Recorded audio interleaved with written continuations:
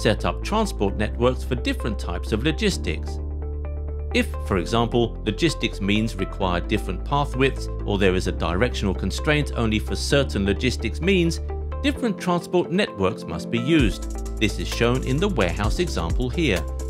The blue material flows show how the material is brought from the delivery to the warehouse by the forklift. The red material flows show how a tugger train brings the material from the warehouse to the production areas. The tugger train cannot turn around and can only move in one direction, Therefore, you cannot use a universal network here, you need two transportation networks. First we hide the material flows, then select a node or an arrow of the network and check the properties in the dynamic menu. The default network is universal. If possible, you should keep it that way. But in our case, we can assign the forklift for which this network is intended.